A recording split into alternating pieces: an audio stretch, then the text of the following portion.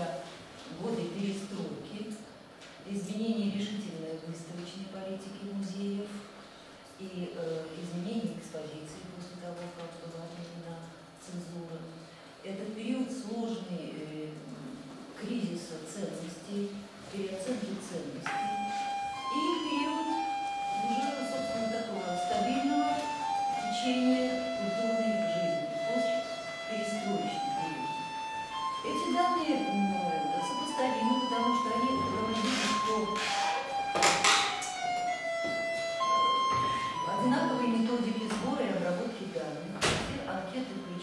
аналогичным группам вопросов и обрабатывались по одной и той же программе, включающей в себя анализ процентного соотношения, ответ, э, корреляционный и факторный анализ. Вот потому, собственно, такой большой массив, он э, заставляет э, в своем в результатах своих анализов говорить о э, материи более общего характера.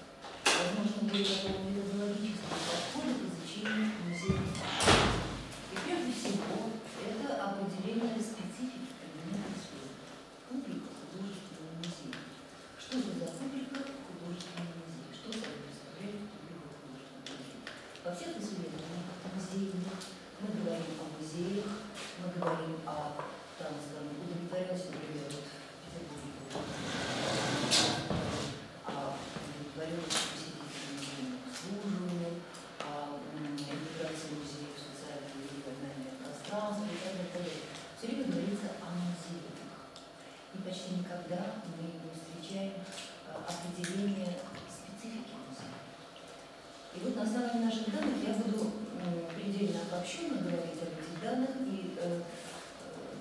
вельми кратко. Дело что вышла уже книга э, в прошлом году, где очень полная и очень конкретно представлены все результаты эксперимента. Настолько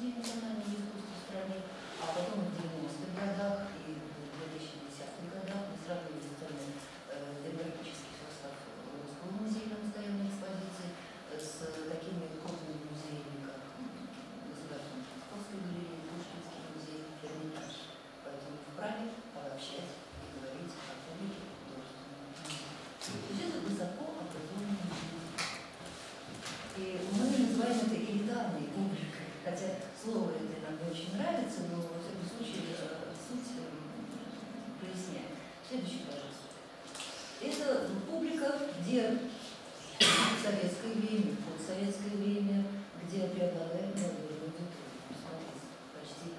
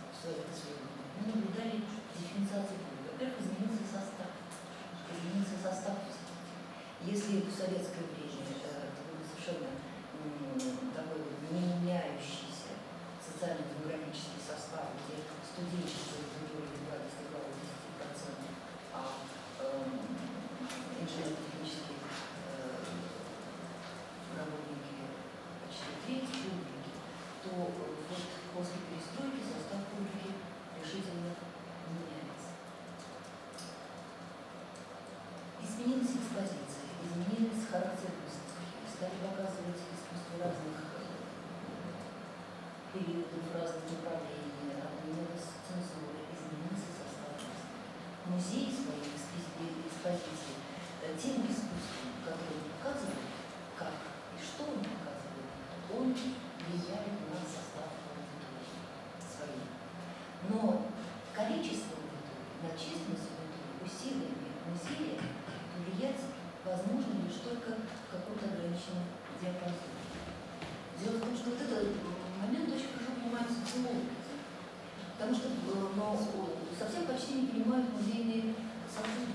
Дело в том, что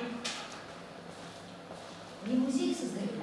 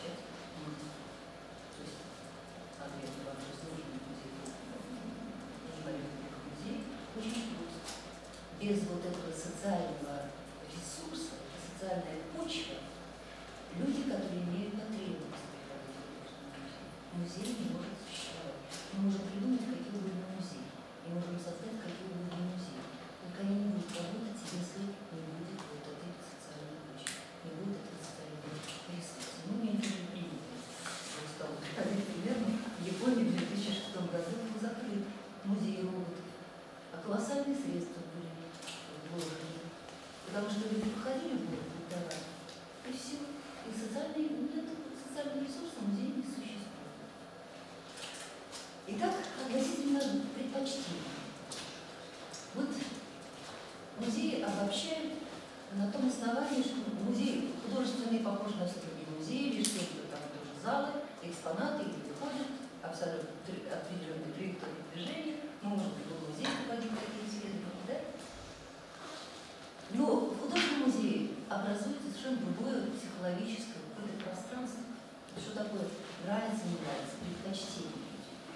Люди предпочитают им нравится то, что соответствует, э, сочетается, эм, как-то гармонирует с их э, мироощущением.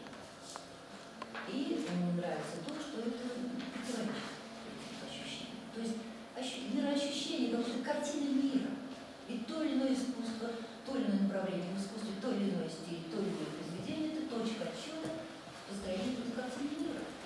И людям нравится или не нравится в соответствии с этим совпадением или несовпадением. И музей превращается в пространство, вот такое драматическое пространство, вот этого строения, структуры различных мировосприятий, мировоззрений. И оказывается, это имеет какой-то порядок. Вот мы стали наблюдать этот порядок именно после отмены цензуры. Вот именно тогда, когда неопределенный замкнутый ограниченный круг в советское время был доступен публике, а когда стало доступно все. Все много, когда появились выставки современного искусства, когда появилась постоянная экспозиция современного искусства, и публика стала дифференцироваться. Одни приходили современное искусство на выставке искусства традиционного, другие на выставке авангарда, определенные люди приходили на выставки современного искусства, предпочтения а вот от этой картины мира очень хорошо была видна в период перестройки. Вот когда э, появились первые выставки авангарда, в музей пошла публика студенческая аудитория, до 30% студентов которые были в советское время. Это м, творческие работники, это гуманитарии, а, э, процент их а- активно увеличивался в этот период, это молодежь. И в этот период, вы знаете, наверное, этот период, это вот такая абсолютная политизация общественного сознания. То есть все вообще проблемы обсуждались всеми в стране, которые происходили эти реформы. И мы задавали в анкете вопросы. И они не выглядели некорректно, потому что это всех волновало. Например, на выставках Кузнецова могли задать вопрос, как вы относитесь к Прибалтии? Таких тяжелых драматических, да? Очень конкретно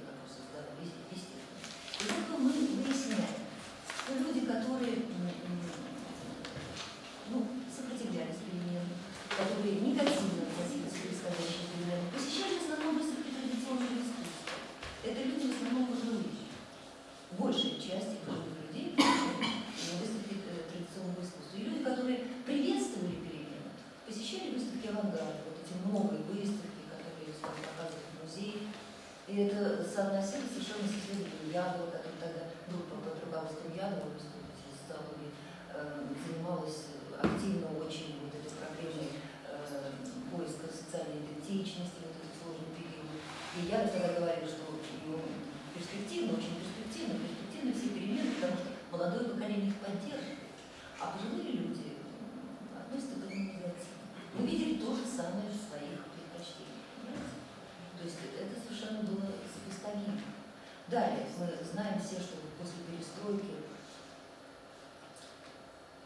колоссально выросло количество людей, которые считали себя. До 50% населения по опросам населения считали себя верующими.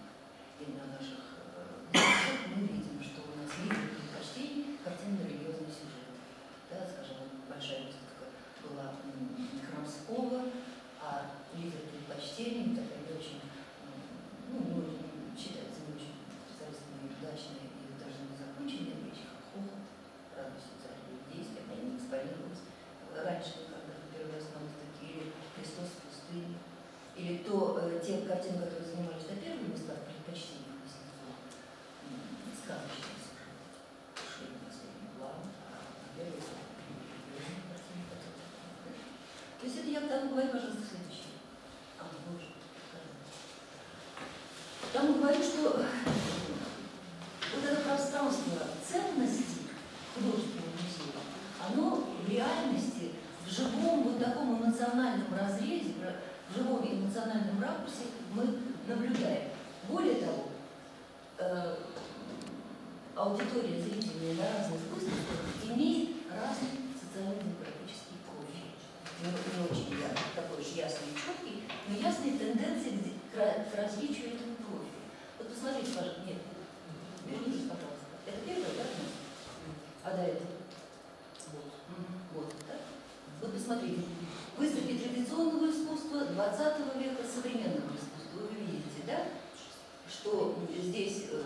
выставку традиционного института больше и технического образования. Вот этот вот э, диапазон 41-59, это диапазон на разных выставках, на нескольких выставках, вот в таком диапазоне э, доля людей с техническим и естественно-научным образованием.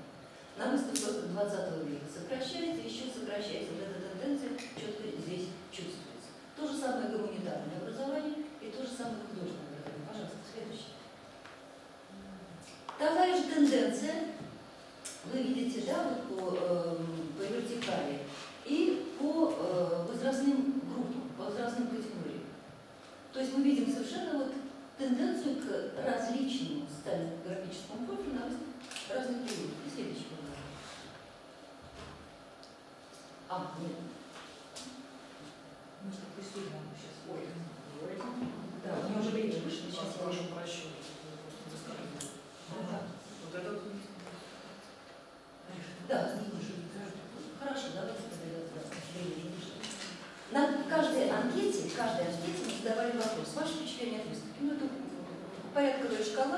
Пяти, э, такая, с пятью градациями. И когда мы подводили вот итог, анализ статистический, смотрите, какую интересную мы увидели закономерность. Да, очень интересно, почти все говорят на выставках традиционного искусства народного. И как сокращается количество согласных, позитивных оценок, оценок в зависимости от того, как искусство уклоняется от традиции. И противоречивые впечатления. Доцент, ну, я, я не знаю, противоречивые впечатления, да? Постепенно увеличивается, посмотрите, вот до 50% навешивается, до половины. Легко возразить. На первый взгляд это кажется, что, э, ну, понятно, что современное искусство, но вот в свое время импрессионистов тоже вообще не принимали, ругали, да, и все. Но на выставках, а таблицу оставьте. А, вот это, да, вот график, пожалуйста, график. Хорошо та же самая таблица, только в графике поставлена. Видите, как постепенно сокращается количество позитивного э, согласия и увеличивается количество э, людей, которые противоречиво относятся к выставке. На выставках современного искусства самая подготовленная публика по социально-демографическим характеристикам, по социокультурным, по подготовленности. Это люди, которые идут на выставки современного искусства специально, хотят посмотреть эти выставки. Это люди, кстати, которые интересуются вообще и современным кино, современной литературой, понимаете, это очень подготовленный публик. Там очень много художников, вы видели не так, только что, да, вот эти таблицы. Там очень много эм, людей, которые ну, специально увлекаются искусством, регулярно ходят в музей. И э, более широкая аудитория ходит на выставки традиционного искусства, она не бывает. И вместе с тем мы имеем вот такую половину примерно противоречивых впечатлений. Это уже очень долгий разговор относительно собственно самого искусства современного, которое уходит, уходя от традиции, уходит от общих, общезначимых идей, которые объединяют. Это уже разговор о том, как разные направления и периоды искусства выполняют функцию интеграции. И как она, эта функция интеграции ослабляется культурных процессах. Это уже мы выходим на, на другой. Ну и, э, собственно, я хотела бы уже закончить, время мое совсем уже вышло, э, тем, что вот, что такое публика художественного музея, что такое художественный музей. Когда мы не говорим о специфике музея, мы не говорим о специфике предмета исследования. Мы исследуем, упуская собственный предмет исследования. И когда мы понимаем, что происходит в художественном музее, то это может быть методологическим основанием для построения программ, а мы сейчас все время во всех программах художественного музея говорим о знании, знании, знании, информации. Искусство обеды говорят, мы учим воспринимать искусство, мы учим художественному языку. А вот о развитии мы мало слышим. А именно э, художественный язык это есть именно вот та точка отсчета построения картины мира. И мне сейчас нет времени подробно об этом говорить, но в книге там все это очень подробно, потому что разные возрастные категории, молодежная культура мы взяли с предпочтением художественных музеев, которая очень отличается в своих предпочтениях от предпочтений старшего поколения. Иногда на одних и тех же выставках, когда мы смотрим данные, мы думаем, ну, думаю, что может быть разные выставки, потому что одни увидели одно, другие же видели другое. Куин же люди старшего возраста воспринимают, как у нас такой ассоциативный эксперимент в анкете, гармоничное, прекрасное, красивое, лирическое, те же картины молодежь пишет. Напряженное, драматическое, понимаете?